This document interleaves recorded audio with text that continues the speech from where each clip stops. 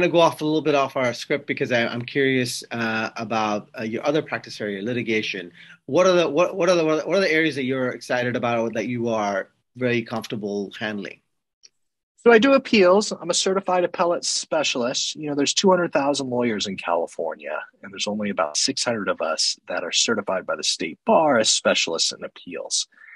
And um, I've done over 150 appeals in the California Court of Appeal. And, and so I'm very comfortable handling those, whether they're civil, criminal, probate, family law, etc.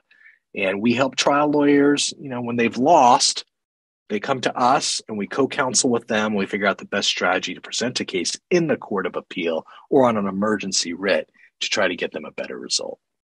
Um, walk me through that because you mentioned it in our one-to-one. Like, what is what is since I don't practice this kind of uh, law, what is an emergency writ and what what does that consist of?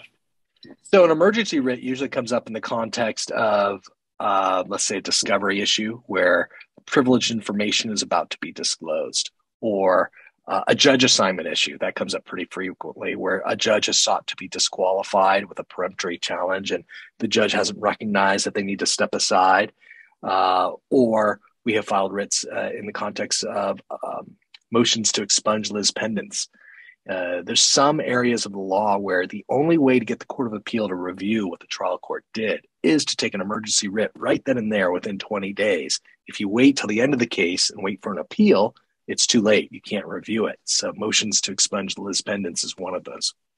Oh, I learned something new.